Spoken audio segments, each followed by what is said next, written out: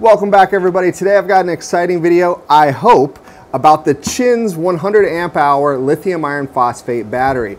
Now I had a debate with the last company, it rhymes with Beaver, and uh, about how their batteries should test a little bit over the rated capacity. So after going back and forth, I did not get the answers and the result I want. The battery did not test to the capacity. So I wanna show you that if you spend a little bit more and get a reliable brand like Chins, it still could be affordable and it'll have high quality cells and they'll test more than the capacity. So let's do that today on Tackle That.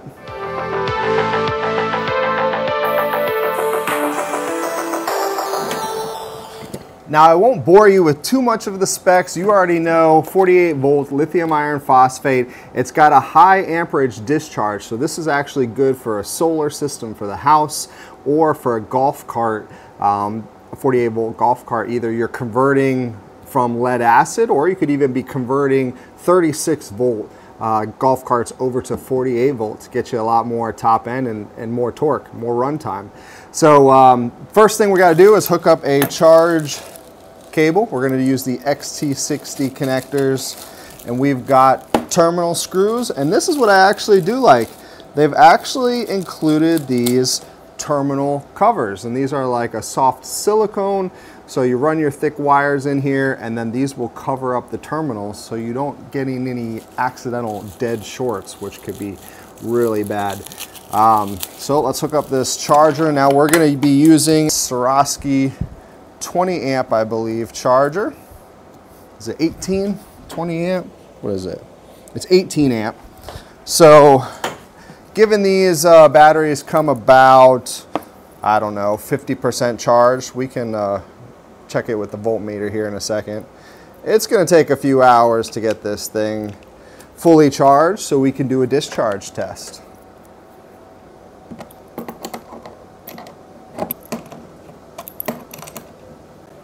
And we have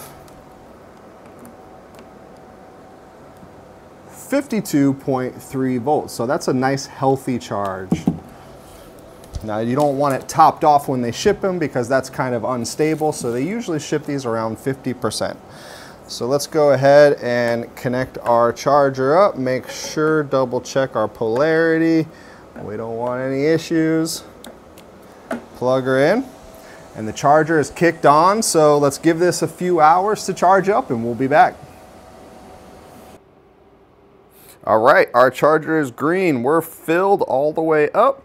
And how we're gonna do this is we're gonna use this inverter to draw the power out by charging the battery bank over there.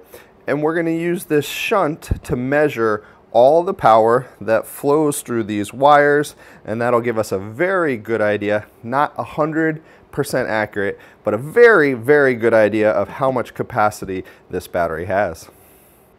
Now we've got our load hooked up to our inverter, so all we gotta do is flip this guy on. We're gonna turn the inverter on and the charger is hooked up to the other side of this extension cord. So as soon as that charger kicks on, we should see some power start flowing out of this. Oh, I just heard the charger kick on, and here we go. We are pulling about a thousand watts out of this. And so that actually works out pretty darn perfect. This is a 5120 watt hour battery. If we're pulling around a thousand watts out of it, it's gonna take about five hours to discharge this battery. And that's perfect. That is a 0.2C discharge. And that's really how fast you wanna test these batteries. We'll come back in a little bit and we'll see how she's doing. While we do that, let's check out the app. In the manual, there's a QR code to download this app. It loaded really quickly and it automatically found the battery. We just had to allow it to find local devices. So let's go ahead and connect to that. And here we go. So the battery is at 90% state of charge. We can see that we're currently drawing around 21 amps out of this battery. Um, we got a total voltage, we got our high and our low cell voltage, differential. These are really nice and balanced cells. There's only a 0.01 volt differential between those. We got temperature in here and we got all of our single cell voltages. This is great. So this will give you a snapshot of your battery right here on the app. It has a nice big auto balance button. I like that and it'll tell you if you can charge or discharge it based on the cell voltages. And then of course you can go in and set any of these parameters. I like it.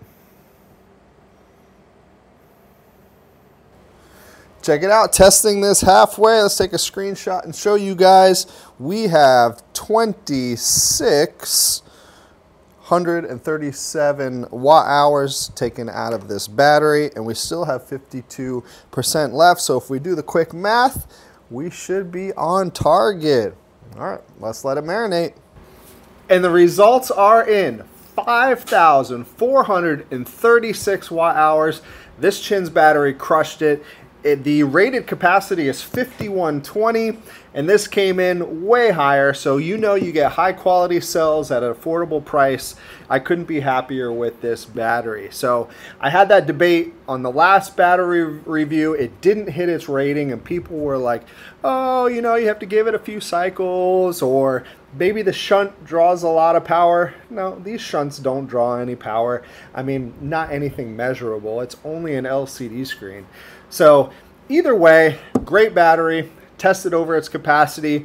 Uh, this is money well spent on these Chins batteries. And they also have excellent customer service too. So that's important for me as well. This battery is going to go in a golf cart build. It's going to be a lot of fun, but here's what it looks like now. So it's going to take a little bit of work before we can test this thing out and get it rolling, but uh, it's going to be a fun build. So make sure you subscribe and we'll uh, see you on the next one. Thank you guys.